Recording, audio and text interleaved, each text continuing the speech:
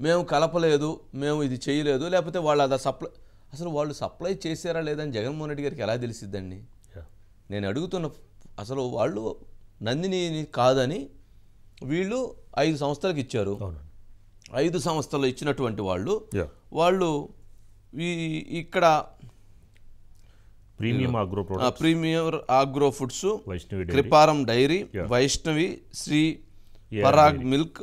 AR dairy. AR dairy. వీళ్ళు ఐదుగురికి ఇచ్చారు. ఈ ఐదుగురికి ఇచ్చిన వాళ్ళు సప్లై చేసిన దాంట్లో అది కలవలేదు లేదా వాళ్ళు పంపించిన దాంట్లో ఇది కలవలేదు అని జగన్మోహన్ రెడ్డి గారికి ఏమైనా తెలుసండి? ఎలా తెలిసిద్ది? అది మూడు వందల ఇరవై రూపాయలకి ఇచ్చి దాంట్లో యాభై రూపాయలు వంద రూపాయల కమిషన్ పెట్టుకున్నారు. ఎవరు పెట్టుకున్నారు? ఇదే ఆ టీటీడీలో ఉన్నటువంటి ఆ రోజు ఉన్నటువంటి ఆ కమిటీలో ఉన్నటువంటి వారో లేకపోతే దీనికి సంబంధించి మొత్తం ఆపరేట్ చేసినటువంటి వాళ్ళు? మరి ఎవరెవరు దాంట్లో కమిషన్ పెట్టుకున్నారు అనేటువంటిది తేలాలి. మరి ఆ రోజు చైర్మన్గా ఉన్నటువంటి వైవి సుబ్బారెడ్డి గారు తర్వాత వచ్చిన భూమన కరుణాకర్ రెడ్డి గారు అసలు వీళ్ళిద్దరికంటే కూడా సూపర్ చైర్మన్ సూపర్ ఈవో అయినటువంటి భగవంతుడి కంటే నేను గొప్పవాడిని అనుకున్నటువంటి ధర్మారెడ్డి ఆయనకు తెలిసి ఉండాలి. ఇందుట్లో ఎవరైతే వైవి సుబ్బారెడ్డి గారి దగ్గర పనిచేసినటువంటి అప్పన్న అనేటువంటి వ్యక్తికి ఆయన దగ్గర ఆయన పియను మరి ఎవరు నాకు తెలవదు ఎవరు నాకు పెట్టిన సమాచారం అప్పన్న అనేట అతను ఎవరైతే ఈ శ్రీ పరాగ్ వాళ్ళ దగ్గర నుంచి పరాగ్ నెల డైరీ పరాగ్ డైరీ పరాగ్ వాళ్ళ దగ్గర నుంచి లంచాలు తీసుకున్నాడని అతని మీద ఎలిగేషన్స్ వచ్చున్నాయి. ఓకే అంటే ఇక్కడ ఆ మూడు వందల ఇరవై రూపాయల దాన్ని వంద రూపాయలు యాభై రూపాయల కమిషన్ తీసుకొని దీన్ని అడ్డగోలుగా మీరు ఏమైనా చేసుకోండి మేము చూసుకుంటామని చెప్పని వీరి రకమైనటువంటి దీనికి పాల్పడ్డారనేటువంటిది ఇప్పుడు వస్తున్నటువంటి అంశం. మరి జగన్మోహన్ రెడ్డి గారు ఆయన ఏం చెప్తారండి మరి? మరి ఏం మాట్లాడతారు ఆయన? మరి దుర్మార్గం కదా? అది తప్పు కదా? అది కదా మనం ప్రశ్నించాల్సింది. మరి తెలవదు దీని మీద విచారణ చేయాలి. ఖచ్చితంగా తప్పు జరిగి ఉంటే ఆ రోజు ఉన్నటువంటి వారు ఎవరన్నా చర్యలు తీసుకోవాల్సిందే. అని చెప్పుంటే ఆయన గౌరవం పెరిగి ఉండేది ఆయన గౌరవం పెరగాల్సిందంటే అది ఎవరన్నా తప్పు జరిగి ఉంటే దాని మీద చర్యలు తీసుకోవాల్సిందే అని చెప్పుంటే ఎందుకంటే ఆయన సంబంధం ఉండదు కదా? కింది స్థాయిలో జరిగి ఉండిద్ది. కానీ ఆయన ఏమన్నారు? అసలు అది జరగలేదు. అని ఈయనకి ఇప్పుడు ఎలా చెప్తారు అది? ఎలా ధృవీకరిస్తారు? ఎలా రాలేదని చెప్తారు? ఎలా అది ముందుకు పోలేదని చెప్తారు? అంటే తెలిసి జరిగింది అట్లాంటప్పుడు? గతంలో వాళ్ళు ఆ రకంగా చేస్తున్నారని తెలిసే జరిగిందా? హిందూ ధర్మాన్ని మీరు నమ్మరు కాబట్టి మీరు రాజకీయ అవసరాల కోసం వచ్చారు కాబట్టి కావాలని చేయించేటువంటి దానికి మీరు శ్రీకారం చుట్టారా? కావాలని ఎన్ని కూడా ఈ కుట్రలోకి పాల్పంచుకున్నారా అనేటువంటి ప్రశ్నలు అనుమానాలు ఇప్పుడు వారిని ప్రశ్నించేటువంటి పరిస్థితి ఏర్పడుతుంది. ఇది ఒక అంశం అండి. ఇంతకుముందు మనం చెప్పినట్లుగా అసలు లడ్డు తయారీ కావటానికి అసలు ఏంటి?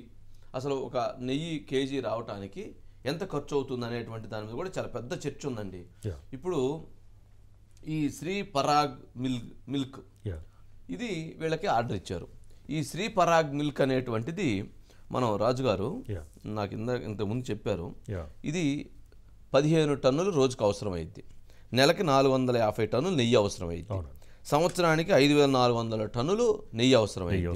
మరి ఇది మూడు వందల ఇరవై రూపాయల కాడి గత ప్రభుత్వం ఇచ్చినట్టుగా నూట డెబ్బై రెండు కోట్ల రూపాయలు. దీనికి ఖర్చు అయ్యేటువంటి పరిస్థితి. ఒక కేజీ నెయ్యి తయారు చేయడానికి ఇప్పుడు మనం బయట కేజీ నెయ్యి కొనాలనుకుంటే దాని కాస్ట్ వెయ్యి రూపాయలు పైనే. అమ్మేటువంటి పరిస్థితి ఉంటుంది.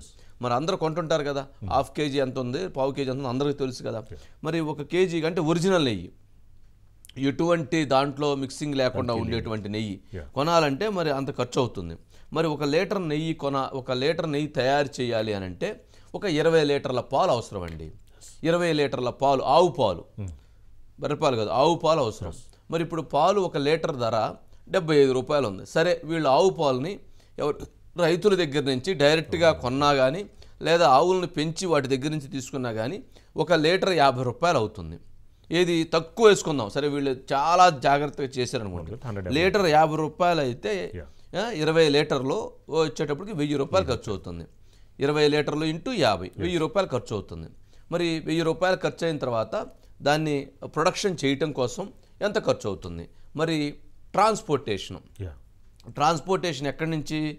ఇప్పుడు ఏదైతే మనం చెప్పినటువంటి పరాగ్ డైరీ. పరాగ్ డైరీ ఉత్తరప్రదేశ్లో ఉత్తరప్రదేశ్లో ఆత్రాస్లో ఉందండి. ఉత్తరప్రదేశ్లోని ఆత్రాస్ నుంచి తిరుమల శ్రీవారి కొండ దగ్గరికి పంతొమ్మిది వందల డెబ్బై రెండు కిలోమీటర్లు. ఒక వెయ్యి తొమ్మిది వందల డెబ్బై రెండు కిలోమీటర్లు. అంటే సుమారు రెండు వేల కిలోమీటర్లు. ఆత్రాస్ నుంచి ఆ నెయ్యి ఇక్కడికి వస్తుంది. అంటే వెయ్యి రూపాయలు వెయ్యి రూపాయలు పాలు. పాలుగా అవుతుంది. దాన్ని తయారు చేయడానికి ఒక రెండు వందలు అవుతుంది. మరి ట్రాన్స్పోర్టేషన్కి వచ్చేటప్పటికి మరి అదొక రెండు వందలు అవుతుంది. పద్నాలుగు వందలు ప్లస్ ఈ లోడింగు అన్లోడింగు మరి కార్స్ ఖర్చులు ఇవన్నీ వేసుకుంటే ఇంకొక వంద రూపాయలు. అంటే పదిహేను వందల రూపాయలు ఖర్చు అవుతుంది. మరి పదిహేను వందల రూపాయలు ఖర్చు అయ్యేటువంటి ఒక లీటర్ నెయ్యికి మరి ఆత్రాస్ వాళ్ళు మూడు వందల ఇరవై రూపాయలకి తిరుమల తిరుపతి దేవస్థానానికి ఎలా ఇస్తారండి? ఎలా ఇస్తారు? కర్ణాటకలో ఉన్నటువంటి నందిని దగ్గర నుంచి ఇక్కడికి వచ్చేటప్పటికి నాలుగు వందల కిలోమీటర్ల లోపు ఉంది. మరి రెండు వేల కిలోమీటర్లు ఉన్నటువంటి వాళ్ళు ఇక్కడికి మూడు వందల ఇరవై రూపాయలకి ఇచ్చారు. మరి నందిని వాళ్ళు దాన్ని నాలుగు వందల డెబ్బై రూపాయలకు ఐదు వందల రూపాయలు ఇవ్వడానికి కూడా మాకు కష్టమైపోతుంది. మేము ఇవ్వలేము. మాకు ఎవరి లీటర్కి మాకు రెండు వందల రూపాయలు లాస్ వస్తుంది. మేము అని చెప్పి వాళ్ళు తప్పుకున్నారు. మరి వీళ్ళు ఎలా ఇచ్చారండి? ఏం కలిపి ఇచ్చారు వీళ్ళు? వీళ్ళ దగ్గర ఏమన్నా ఆవు పాలు ఏమన్నా రూపాయికి దొరుకుతుందా? లీటరు? కాదు కదా. అక్కడైనా యాభై రూపాయల పైనే ఉంది కదా. మరి యాభై రూపాయల పైన ఉన్నటువంటి దానికి ఎంత ఖర్చు అవుతుంది? దీనికి ఎంత ఖర్చు అవుతుంది? అంటే ఇది ఎలాంటి ఎంత నిస్సిగ్గుగా ఎంత సిగ్గులేనితనంగా ఎంతటి అపవిత్రంగా మాట్లాడుతున్నారంటే అంత అపవిత్రంగా మాట్లాడుతున్నటువంటి పరిస్థితి ఇప్పుడు ఈ అంశాల్లో కనపడుతూ ఉంది. మనం ఇక్కడ గమనించాల్సినటువంటి అంశం ఏంటంటే ఇది ఈ మొత్తం ఎపిసోడ్లో మరి ఇంతకంటే ఏముంది? ఇంతకంటే ఏముంది? ఇంతకంటే ఏం చెప్తాం? అంటే పదిహేను వందల రూపాయలు అవుతుందని మరి మూడు వందల ఇరవై రూపాయలకి ఇస్తారు. అంటే ఎలా ఇస్తారు వాళ్ళు? ఏం కల్పిస్తారు? ఏం తెచ్చిస్తారు? ఆవును మరి ఆ పందిని పంది కొవ్వుతో తీసిన నూనె లేకపోతే బర్రగొడ్లు యానిమల్స్ నుంచి తెచ్చినటువంటిది నా నూనె మరి వాటికి వాటికి విలువ ఎంత ఉండిద్ది? అది నూట యాభై రూపాయలు వంద రూపాయలు ఎందుకంటే వాటిని వాటి నుంచి వచ్చేటువంటి కాస్ట్ తక్కువ ఉండేది కాబట్టి.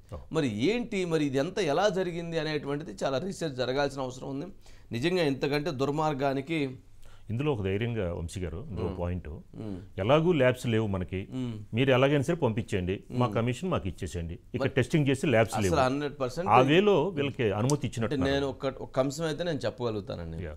ఇది బొమ్మన కరుణాకర్ రెడ్డి గారో వైవి సుబ్బారెడ్డి గారో వాళ్ళు తెలిసితే దీనికి ఒప్పుకొని ఉండకపోవచ్చు వాళ్ళు వాళ్ళ కింద ఉన్నటువంటి వాళ్ళు వాళ్ళ కమిషన్ వాళ్ళకి వస్తుంది కదా అని వాళ్ళు వాళ్ళు భావించారు. సరే నాలుగు వందల రూపాయలు మూడు వందల ఇరవై రూపాయలకి ఎవరైనా కానీ ఎంత ఏమైనా ఎవరైనా ఏం చెప్తారు? ఇది మంచిదేనండి మంచి క్వాలిటీ అని చెప్తారు. మరి వాళ్ళిద్దరు కూడా అలాగే చెప్పుండొచ్చు. వాళ్ళ కింద ఉన్నటువంటి వాళ్ళు కమిషన్ తీసుకుని ఉండొచ్చు. ధర్మారెడ్డి అనేటువంటి వ్యక్తికి అసలు ఇక ఇక దానికి దీనికి అంతే లేదనుకోండి అతను చేసినటువంటి అరాచకాలకి. మరి అతను దేనికైనా తెగబడతాడు. అతను దేనికైనా తెగబడతాడు. అక్కడ జగన్మోహన్ రెడ్డి గారు ఏది చెప్తే అది చేయటం అతని యొక్క విధి. అతనే సూపర్ చైర్మన్ సూపర్ ఈవో. వీళ్ళిద్దరిది ఏముంది? నిన్న కూడా అదే చెప్పాం కదా.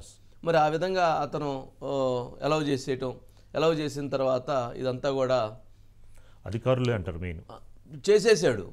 చేసేసాడు అయిపోయింది వచ్చేసింది జరిగిపోయింది. అది బయటపడదు అనుకున్నాడు బయటపడకుండా ఎట్లా ఉంటుంది? బయటపడకుండా ఎందుకు ఆగుతుంది? ఎందుకు ఆగుతుంది? ఆగదు కదా. అంటే ఇట్లాంటి చాలా అంశాలు చాలా విషయాలు ఇందుట్లో దాగి ఉన్నటువంటి పరిస్థితి ఉంది ఇక్కడ ఒక కంపెనీ భోపాల్లో అక్కడి నుంచి వచ్చింది. ఇంకో కంపెనీ చెన్నై. ఇట్లా అసలు ఇది కాదండి. అసలు ఇవన్నీ చాలా దుర్మార్గమైనటువంటి అంశాలు ఉన్నాయి